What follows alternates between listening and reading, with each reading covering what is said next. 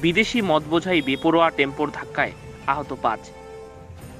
ঘটনাটি ঘটেছে পশ্চিম মেদিনীপুর জেলার বেলদা বাসস্ট্যান্ড সংলগ্ন এলাকায়।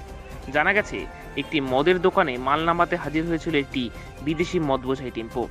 মাল নামানোর আগে চালক গাড়ি রেখে অন্যত্র মন দেওয়ার সুযোগে তারই এক সহযোগী সেই গাড়ি নিয়ে পালানোর চেষ্টা করে।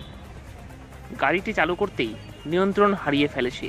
এরপর বেগতিক হয়ে দ্রুতগামী গাড়িটি ভরা বাজারে থাকা বিভিন্ন যানবাহন ও পথচারীকে ধাক্কা মারতে শুরু করে। ঘটনায় আতঙ্কিত হয়ে বাজারের লোকজন ছোটাছুটি করতে শুরু করে দেয়। পরে কোনোভাবে গাড়ির চালক গাড়িটিকে নিয়ন্ত্রণে আনতে সক্ষম হয়। ততক্ষণে দুই নাবালিকা সহ মোট পাঁচজন সেখানে আহত হয়।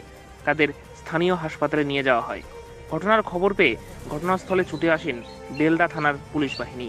এলাকায় উত্তেজনা তৈরি হয়েছে। পশ্চিম মেদিনীপুর থেকে শান্তনু পানের রিপোর্ট উত্তরের সংবাদ।